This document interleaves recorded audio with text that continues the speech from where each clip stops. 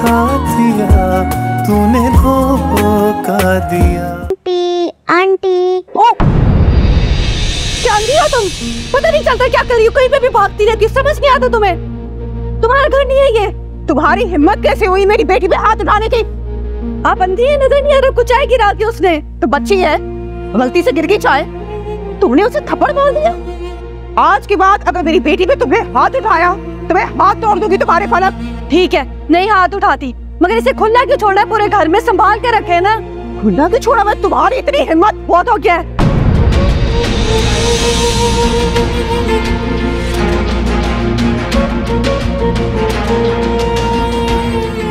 हाथ मत उठाइएगा आइंदा मुझ पर। बहुत ज्यादतियाँ बर्दाश्त कर चुकी हूँ मैं आपकी। अगर आइंदा ऐसी जुर्रत भी की ना मुझ पर हाथ उठाने की तो मुझसे बुरा कोई नहीं होगा। फलक जबान को लगाम दो। बोली जा रही हूँ, बोली जा रही हूँ। क्या हो गया तुम्हें? उसी लहजे में बात करें जिसे बहुत पहले कर लेनी चाहिए थी। यही ज़ुबान समझ आती है ना आपकी बेटी को? हर वक्त इस घर में मेरी इंसल्ट होती रहती है, लेकिन अब मैं और बर्दाश्त नहीं करूँगी अपनी बेइज्जती। हमजा को आने दो, वही तुम्हें समझाएगा। ले, आ गया हमजा। जो शिकायत लगानी ना उनके सामने लगाए, उनको भी तो पता चले कि सारा दिन मेरे साथ आप दोनों करती क्या है। क्या हो गया? किस बात का शोर मचा हुआ? है ये तो आप अपनी बहन से ही पूछे, जिसको तमाशे लगाने की आदत है।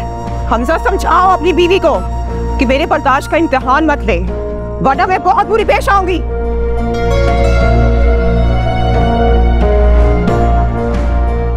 तो पहले क्या नहीं होता यहाँ पे?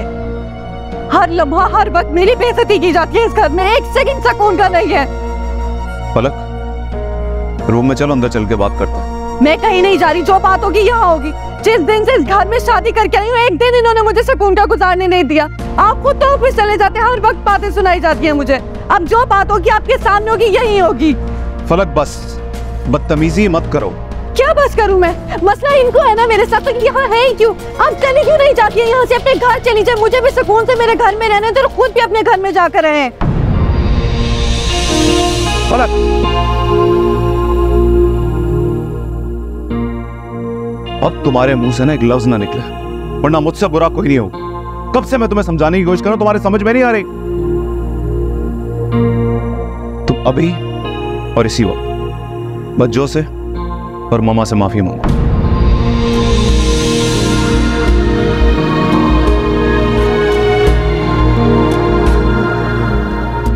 किस बात की माफ़ी? जब मैंने कुछ गलत किया ही नहीं है तो माफ़ी किस बात की मांगू? मैंने तुमसे कहा ना अभी और इसी वक्त इन दोनों से माफ़ी मांगो।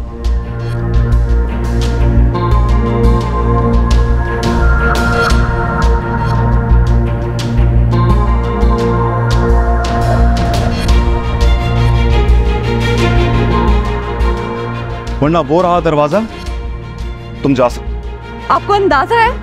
आप क्या कह रहे हैं मुझे? इस घर से जाने को कह रहे हैं? आप तो ऑफ़िस चले जाते हैं, उसके बाद ये दोनों जो मुझे बातें सुनाती है, जो इंसल्ट करती है, आपको अंदाज़ा भी है? मुझे पूरा अंदाज़ा है। मेरी फैमिली तुम्हारे साथ ऐसी बदतमीजी नहीं कर सकती जैसी तुमने की है।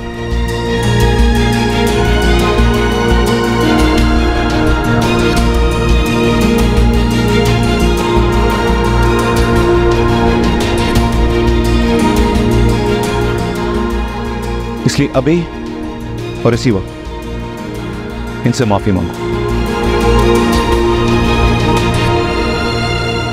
मांगो हाफी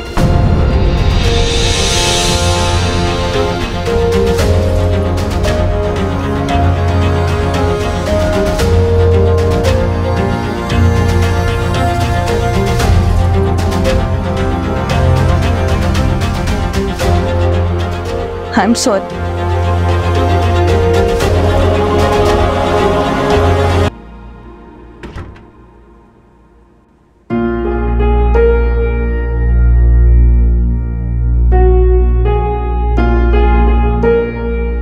सॉरी फलक मैं बहुत ज़्यादा हाइपर हो गया था। लेकिन तुम्हें भी बात करने से पहले सोचना चाहिए था। आज तक किसी ने बच्चों से इस तरह घर में बदतमीजी नहीं की। आप पर जितना मान था, जितना भी गरूर था मुझे, आज आपने तोड़ दिया। आज मुझे एहसास हुआ कि इस घर में पड़ी किसी बेजान चीज़ जैसी हूँ मैं। कोई वक़्त नहीं है।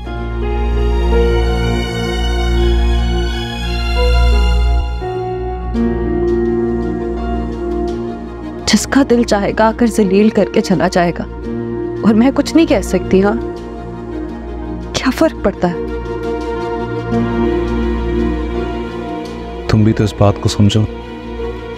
तुम्हारा इस तरह से बच्चों के साथ बदतमीजी करना मेरे लिए मसले क्रिएट कर रहा है। और जो वो लोग मेरे साथ सलूक करते हैं, उसके बारे में क्या ख्याल है आपका?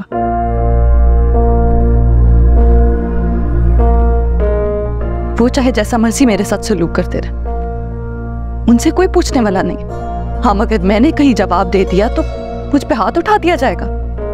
तो बात करने का तरीका होता है, फलक। अगर तुम्हें उनसे कोई प्रॉब्लम थी तो तुम मुझे कहती। मैं उनसे बात कर लेता। लेकिन इसका मतलब हरगिज नहीं है कि तुम उनसे बदतमीजी करो, उनसे घर से निकल जाने का कह दो। ये मैं हरगिज बर्दाश्त नहीं करूँगा।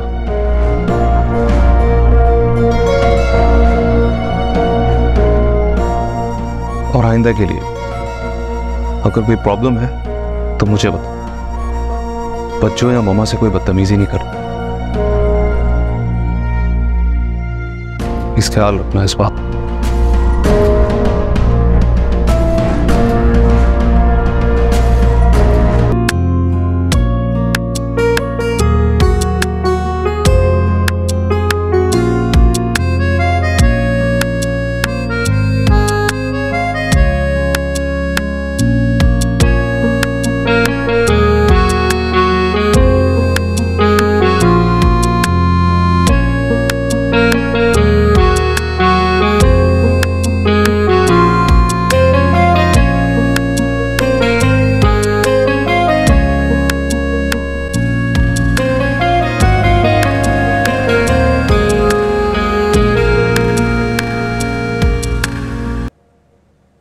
फलक? तुम चाहती हो कि तुम्हारी बेटी तुम्हारे पास आ जाए? क्या मतलब? क्या कहना चाहते हैं आप? तुम्हारी बेटी तुम परेशान हो ना उसके लिए बहुत। तो तुम चाहती हो कि वो तुम्हारे साथ आके रहे? इससे खुशी की बात क्या होगी? यही तो चाहती हूँ मैं कि मेरी बच्ची इल्हाम मेरे पास रहे मेरे साथ रहे। लेकिन हमजा आप तो जानते हैं ना आंटी और बच्चों कभी नहीं मानेंगी। वो मेरा मसला है वो मैं देख लूँगा।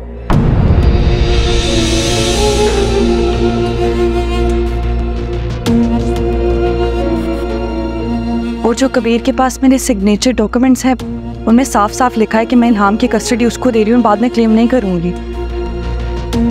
वो तुम मुझ पे छोड़ दो। मैं जानू और वो पेपर्स मैं अलार्म को लाऊँगा तुम्हारे पास।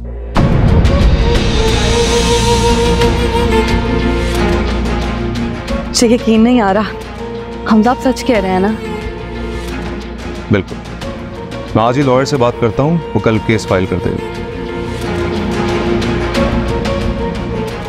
फलक ये तुम्हारा कानूनी हक है और कबीर तो क्या? कोई भी तुम्हारी बेटी को तुमसे दूर नहीं रख सकता।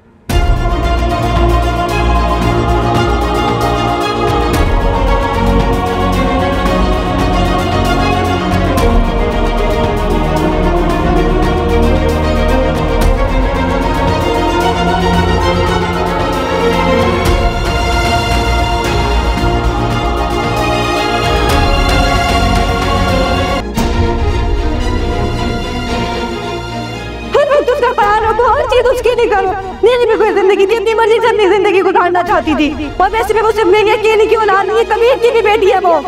तो बहुत संभाले उसे। और अगर आप लोगों से भी नहीं संभलती ना वो तो जिस तरह मैं उसे छोड़कर आई थी ना, आप लोग भी छोड़े। और अगर आप लोगों से नहीं होता तो मैं खुद चली जाती उसे छोड़ने।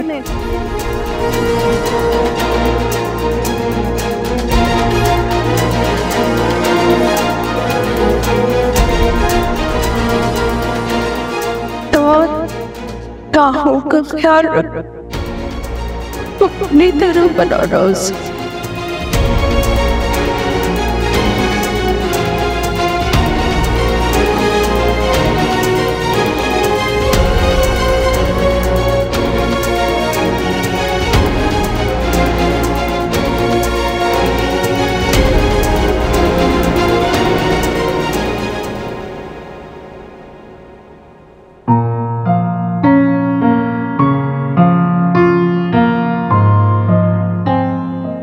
बना रो क्यों रही हो? हम कितने सुकून से रह रहे थे। सब कुछ ठीक हो गया था रुकिए तुम्हें मुझसे वादा करें हम इल्हाम को पलक के पास नहीं भेजे प्लीज़ कैसी बातें कर रही हो नवाल? इल्हाम हमारी बेटी है। फलक की फितरत से मैं अच्छी तरह वाकिफ हूँ। चाहे कुछ भी हो जाए। मैं इल्हाम को फलक के पास नहीं जाने दूँगा। ओके? तुम्हें पता नहीं क्यों मुझे बहुत डर लग रहा है। अगर कोर्ट ने इल्हाम की कस्टडी पलक को दे दी तो हम क्या करेंगे? ऐसा कुछ नहीं होगा। मैं हूँ ना मुझ पे भरोसा रखो। ऐसा होने ही नहीं दो। चाहे कुछ भी हो जाए मैं इल्हाम को फलक के पास बुझाने दो। Trust me